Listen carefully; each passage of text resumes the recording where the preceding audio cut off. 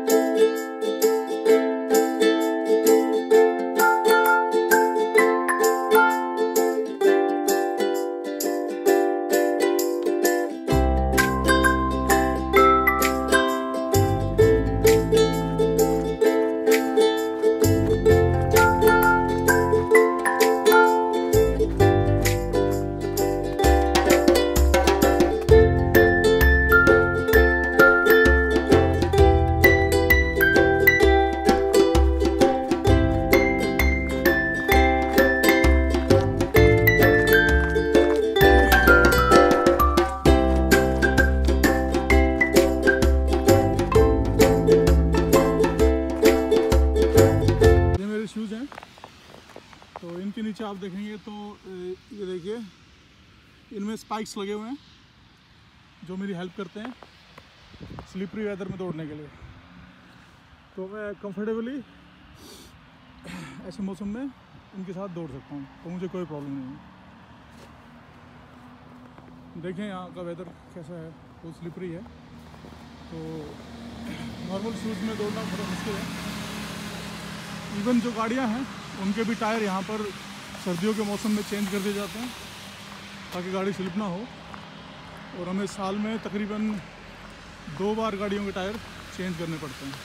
तो जब समर आती है तो हम समर टायर यूज़ करते हैं, और विंटर में विंटर टायर, जिनकी डेप्थ ज़्यादा होती है, और वो रोड को अच्छी तरह से ग्रिप कर लेते हैं, ताकि गाड़ी स्लिप ना हो। तो ये हमारी लाइफ है नॉर्वे में, ठंडा, कोल्ड हाँ एटलीस्ट पोल्यूशन नहीं है। और लाइफ कूल है, मज़े में है नो कंप्लेंट्स और मज़े में जी रहे हैं। दोस्तों, एक और इम्पोर्टेंट चीज़ मैं आपके साथ शेयर करूँगा। ये साइकिल पाथ है और ये वॉकिंग पाथ है।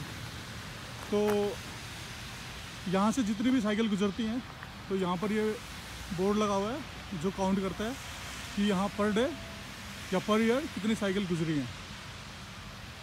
तो 2020 में sixty nine thousand one hundred fifty cycle यहाँ से गुजरी हैं। और अभी जो है, आज की बात करें तो इसमें लिखा हुआ है one thousand seven hundred and thirty three cycle तो यहाँ से गुजर चुकी हैं। तो ये साइकिल मीटर है, जो काउंट करता है कि पर डे या पर ईयर कितनी साइकिल यहाँ से? तो ये बड़ी अच्छी चीज़ है, ताकि गवर्नमेंट को डेटा मिलता है कि लोग कितना फ्रिक्वेंटली यहाँ साइकिल यूज़ करते हैं।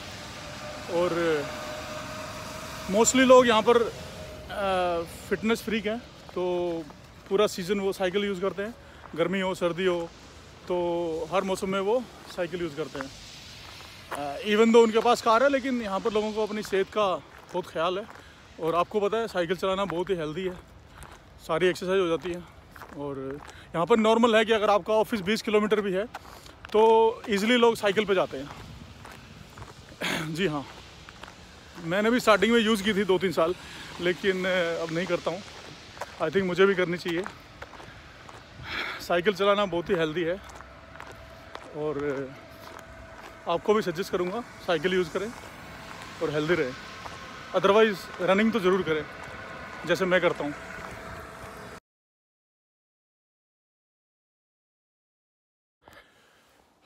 दोस्तों, मैं आ गया हूँ दौड़ के तकरीबन दस किलोमीटर और अच्छा खासा पसीना आ गया या।